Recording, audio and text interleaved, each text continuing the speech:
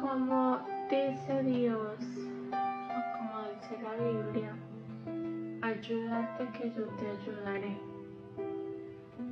Y es que si tú no te ayudas aquí en la tierra, si no haces algo para estar bien, si no estás en armonía y en amor con todo lo que haces y eres, Dios obviamente sí te va a escuchar, pero vas a tener una conexión más linda, más cercana con Dios cuando estás en amor y en armonía.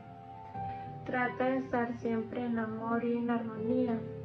Conéctate con Él con sentimientos bonitos.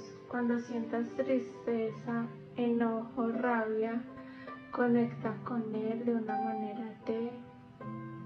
salir de ahí. Pero si tú te quejas y te quejas a diario de esa situación, no haces nada. Debes querer salir de esa situación de tristeza para poder que tengas una conexión bonita con Dios.